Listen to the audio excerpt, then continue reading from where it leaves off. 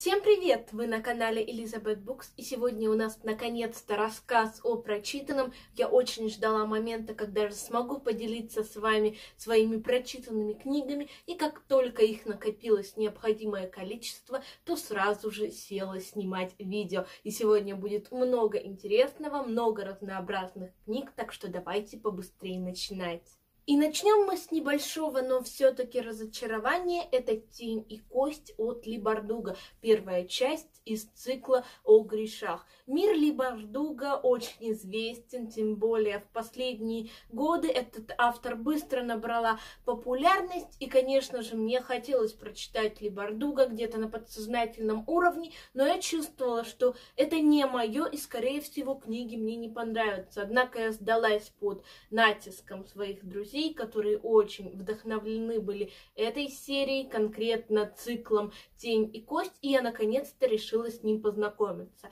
Эта история рассказывает нам о девушке Алине, у которой нет, на первый взгляд, никаких магических способностей, но в экстремальной ситуации она с помощью магии спасает своего друга детства Мало, и в ней просыпаются вот эти вот необычные способности, и выясняется, что Алина принадлежит к грешам. Греши — это действующие воины армии Равки, прототипом которой послужила Россия. И тут очень много отголосков именно русской культуры, что не может не радовать. Все это смотрится очень интересно, необычно и всегда интересно, как же зарубежные авторы вписывают наш местный колорит в свои фэнтезийные миры. И тут еще, что мне очень понравилось, есть загадочный черный каньон. Он соткан буквально из тьмы, и в нем живут будут очень страшные, очень непонятные монстры. И вот Алина это та, кто может предотвратить распространение этого каньона, полностью его уничтожить. С первых страниц я чувствовала, что нам предстоит интересное приключение, но чем дальше в лес, тем больше я начинала замечать каких-то огрехов.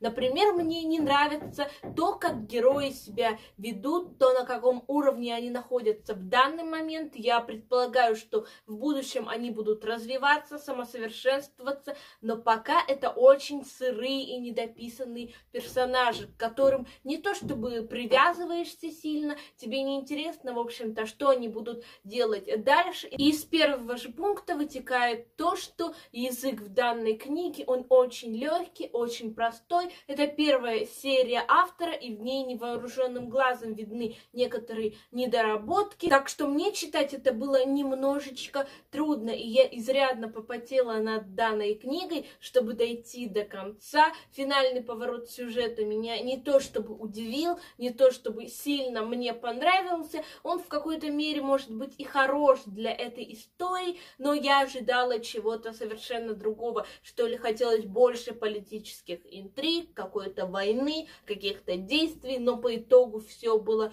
очень сжато, очень сосредоточено на одной проблеме, в одном месте, месте, и вот это мне как раз не понравилось. Но я буду продолжать читать дальше, помучаю себя еще немного, и, может быть, со второй книги что-то кардинально поменяется в моем взгляде на эту серию. И от фэнтези, которая мне не очень сильно понравилась, мы переходим к фэнтези, которая просто покорила мое сердечко. Это Антонина Крейн и ее Шолох, Теневые блики, первая часть. Это невероятно атмосферная история, и я не могу рассказывать о ней без улыбки, потому что в этой книге сосредоточено все то, чего мне так долго не хватало, чего я хотела увидеть в своем идеальном фэнтези. И эта история повествует нам о городе Шолох, который находится в глубине леса, и это полностью от корней до кончиков последних башенок волшебный город. В нем все пропитано магией, магия тут на каждом шагу, тут много фантастических, мифологических существ, невероятных людей, которые используют свою внутреннюю энергию для того, чтобы творить поистине волшебные вещи. Но наша главная героиня Танави после трагического происшествия, к сожалению, больше этой магии не обладает. Она ничего не может сделать, она полностью бессильна, и из-за этого у нее все идет под откос, жизнь кажется тусклой, злой, мрачной, и все это продолжается ровно до тех пор, пока Танави не приглашают на работу в очень загадочное министерство ловчих, где ей предстоит распутывать волшебные дела. И как, казалось бы, ей выжить на этой непростой работе, не имея при себе ни капельки магии, будет рассказываться в этой книге, но не только об этом. Мы тут встретим и около детективный сюжет, и интересное фэнтези с политическими интригами, и много-много интересных поворотов сюжета, в числе которых находятся и настоящие боги этого мира. И это настолько детальная история. Ты буквально видишь этот шолох, ты чувствуешь персонажей, все они безумно колоритны, и ты не спутаешь одного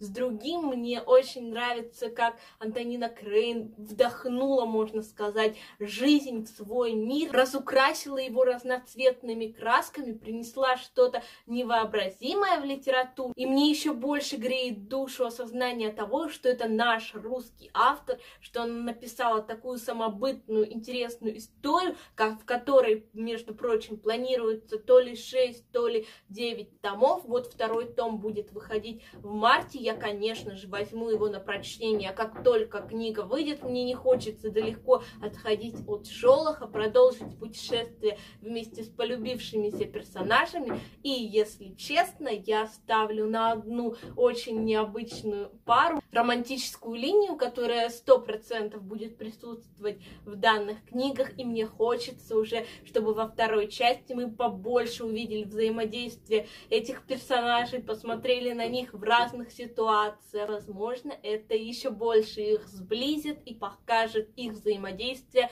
немножечко под другим углом. Еще небольшая заметка, в этой книге невероятно уютная атмосфера, несмотря на то, что тут периодически происходят загадочные убийства, непонятные события, сам Шолох пропитан каким-то уютом, атмосферой магии, волшебства, какой-то бурлящей жизни, и ты попадаешь в этот поток, и тебе уже не хочется из него выходить, ты хочешь бродить по этим улочкам, ездить на такси-кентаврах, пить чай из маленьких лавок. И тут есть, кстати, не только маленькие передвижные лавки с чаем, но и с кофем, и с еще другими сладостями. И это просто что-то невообразимое, что-то, что в идеале рисуется тебе как необычный мир, и по сути он таким же и является. Элис Шафах 10 минут 38 секунд в этом странном мире. Это, наверное, самая ожидаемая новинка начала года, которую я лично для себя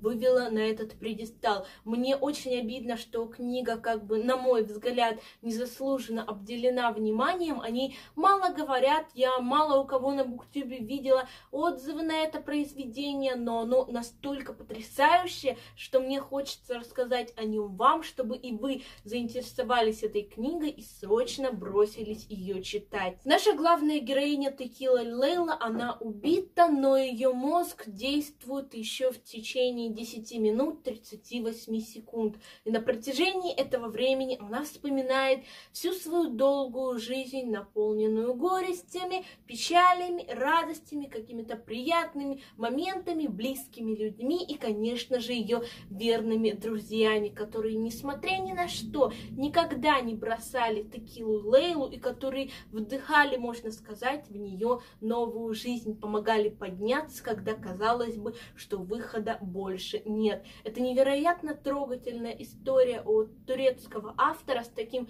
восточным колоритом, и тут невероятным образом показана атмосфера Стамбула, его многогранность. Ты видишь город под разными углами с точки зрения разных людей в разные истории исторические эпохи, и автор с первых же страниц бросает тебя, опять же, в гущу событий, как это было у Антонины Крейн, но у Элиф Шафак это приобретает совершенно иной оттенок. Это легкая нотка грусти, это печаль, которая пронизывает страницы этой книги, это запахи, ароматы, которые окружают нашу уже убитую главную героиню, то, что она вспоминает, это некие отрывки, осколки ее памяти, и она настолько чувственно их пересказывает, настолько детально описывает все свои эмоции, все свое смятение, любовь к этому миру, тебе остается только завидовать, насколько у нее чувственный, многообразный мир, насколько Такила Лейла была невероятнейшим человеком. И эта история прежде всего о судьбах людей, о судьбах необычных людей, которых буквально выбрасывает жизнь из своей колеи, не дает нормально жить, любить, творить, заниматься любимым делом, но вместе с тем это еще и роман о любви, о безграничной преданности, о том, насколько люди не близкие нам по крови могут оказаться близкими по духу, и именно они будут с тобой в самый последний момент. Меня очень тронула эта книга, тронула предисловие автора, которое она посвятила своей бабушке, и настолько вот это чувственно все написано, с эмоциями, с душой, открыто, искренне, что я просто не могу не восхвалять эту книгу. Шолох и 10 минут 38 секунд определенно войдут у меня в топ, если я не найду в течение года чего-то более лучшего, чего-то более атмосферного, но мне кажется на данный момент, по крайней мере, что эти книги не сможет переплюнуть никто. С большим удовольствием сообщаю, что я вернулась к классике и решила познакомиться с Аноре де Бальзаком, о котором я очень много слышала, но никак не решалась прочитать какую-либо его книгу. И вот, наконец-то, в руки ко мне попалась Лилия Долины. Маленькая история, небольшой роман, посвященный любви, чувственной платонической любви между замужней женщиной, которая является матерью двоих детей, примерной хозяйкой, хозяйкой своего дома и молодым наивным человеком, который не видел, в общем-то, в жизни ничего хорошего, все детство над ним издевались, в семье он был чужим, неприкаянным, и вот эти две изголодавшиеся, заблудшие души находят друг друга и становятся в каком-то смысле и спасением для друг друга, и в то же время проклятием, которое причиняет неимоверную боль. Мне очень понравилось, как Бальзак раскрывает вот эти вот платонические отношения между мужчиной и женщиной, показывает их мысли, чувства, позволяет проникнуть в внутренний мир каждого, и все это еще происходит на фоне очень красивых, идеалистических, умиротворенных картин природы. Ты проникаешься атмосферой этой книги, ты буквально дышишь ею, и она идеально, на мой взгляд, подходит для весны или даже для лета, чтобы читать ее вот в такой спокойный, теплый день, наслаждаясь атмосферой, единением с природой. Она просто идеальна для вот таких вот дней. И она мне, если честно, напомнила смесь рассказа о любви Чехова и романа Энн Бронте «Незнакомка из Уайлдфелл Холла». Определенно у этих книг есть что-то схожее, хотя бы вот такая интересная атмосфера, я имею в виду сейчас рассказ Чехова о любви и вот этот вот роман, у них определенно множество каких-то точек соприкосновения, и когда ты видишь эти точки, они радуют твой глаз, тем более я безумно люблю Чехова, и увидеть что-то общее между ним и зарубежным мировым классиком тоже очень было приятно. А с романом «Незнакомка из Wildfell Холла» Лилия Долины похожа тем, что у обоих главных героинь есть какой-то внутренний стержень, острый моральный комплекс, они за справедливость, они очень стойкие, они готовы на все ради своих детей, посвящают им буквально всю жизнь, и вот это самопожертвование, острота, противостояние, мужество, которым наделены эти женщины, не может не бросаться в глаза, если вы еще не читали Анора де Бальзака или любите, наоборот, этого автора, но не читали у него еще Лилию Долин, то я настоятельно рекомендую вам это сделать, потому что роман, несмотря на свой небольшой объем, он действительно приносит что-то новое в вашу жизнь, заставляет задуматься о многих вещах и дарит невероятно интересную чувственную историю любви. Последняя книга в прочитанном выбивается из ряда остальных тем, что она очень мрачная, очень тяжелая для восприятия, и основано это все от и до на реальных событиях. Эта книга «Я исчезну во тьме. Дело об убийстве Золотого Штата» от Мишель Макнамары. Эта история, как я уже сказала, полностью основана на реальных событиях. Это оформленное Мишель Макнамара полное расследование об убийстве Золотого Штата, которое, к сожалению, не окончено в форме книги. К сожалению, автор не дожила до того момента, как убийцу из Золотого Штата наконец поймали. Она совсем немного не дотянула до этого дня, хотя посвятила этому делу, этой загадке все свои жизненные силы, все свои энергетические ресурсы. И мне кажется, именно это дело ее, можно сказать, выжгло выжгла в душе, выжгла телесно, и именно из-за него э, здоровье писательницы оказалось вот в такой неприятной ситуации, которая в итоге привела к летальному исходу. Но давайте поговорим об убийце из Золотого Штата. Мишель Макнамара вошла в это дело, когда оно уже несколько десятков лет было э, в запустении, и ей, как интернет-журналисту, интернет-детективу, хотелось раскусить эту загадку, понять, в чем причина причина этой тайны, почему убийцу так не поймали, хотя на его счету было больше 50 жертв, больше 50 жертв и 40 лет его не могли поймать, не могли понять, что это за человек, как он может так незаметно проникать в дома людей, как он может издеваться над своими жертвами и при этом не оставить никакой зацепки, остаться безнаказанным и продолжить спокойно проживать свою жизнь. В этой книге собраны показания свидетелей, истории от самих жертв, истории от их родных, и когда ты это читаешь, хотя имена изменены, чтобы не приносить им,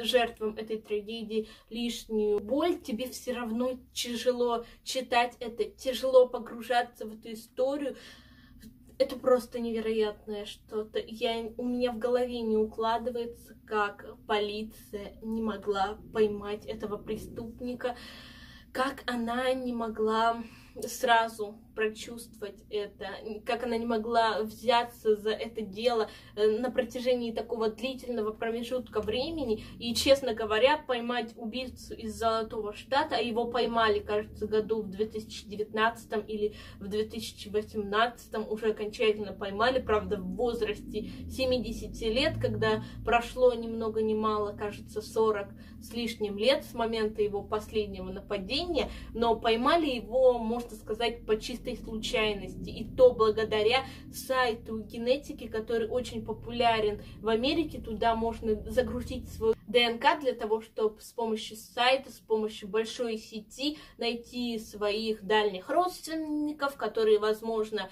где-то пропали, но все дело в том, что этот сайт нельзя использовать для поимки преступников. И вот Мишель Макнамара и ее несколько, можно сказать, коллег по этому делу решили пойти в обходной путь, и изначально у них было очень широкое поле деятельности. Найти убийцу среди тысячи людей с похожим ДНК оказалось непросто, но уже после смерти автора удалось это сделать. Удалось сузить круг подозреваемых до одного человека, и этого человека задержали. И именно он оказался убийцей из Золотого Штата. Если вы интересуетесь криминалистикой, вам интересны преступления, необычные истории, пугающие истории, то я настоятельно рекомендую вам прочитать «Я исчезну во тьме». И «Я исчезну во тьме» — это та фраза, которую маньяк сказал одной из своих самых ранних жертв. И эта фраза осела в голове у Мишель Макнамары, и в предисловии она ей уделила определенное внимание. Это предисловие было написано еще до ее смерти. И вот когда ты читаешь это предисловие, в котором Мишель говорит, что Несмотря на то, сколько прошло лет, поймаю ли тебя я или кто-то другой, ты будешь пойман, ты будешь уже в том состоянии, в котором твое тело не позволит тебе скрыться, ты будешь старым, ослабевшим, а мы будем сильнее тебя, и тебе уже не получится скрыться во тьме, ты выйдешь на свет. Это меня пробрало до дрожи. Я долго не могла успокоиться потом от этой книги. Она меня покорила настолько, что я решила создать подборку книг, основанных на реальных преступлениях. И пока эта подборка невелика, но я буду ее пополнять временами. И думаю, в скором времени, возможно, даже в этом году мы поближе увидим эти книги, и я постараюсь о них как можно детальнее рассказать. Это было все мое прочитанное за последний месяц и небольшой хвостик. Пишите в комментариях, что из этого вы читали. Может быть, мы можем поделиться друг другом мнением. Мне будет все очень интересно узнать. Настоятельно рекомендую вам прочитать хотя бы одну книгу из этого видео. Они все заслуживают внимания. Ну, пожалуй, кроме Ли Бардуга. Хотя, если вы поклонник автора, то вам однозначно «Тень и кость» зайдет. Но с вами была Эли Elizabeth Books. Увидимся мы в новых видео совсем-совсем скоро. И всем пока-пока!